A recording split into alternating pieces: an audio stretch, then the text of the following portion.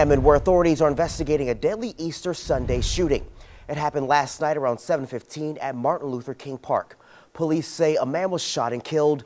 If you have any information that can help investigators, you're asked to call the Hammond Police Department. Happening now, the Louisiana Legislative Session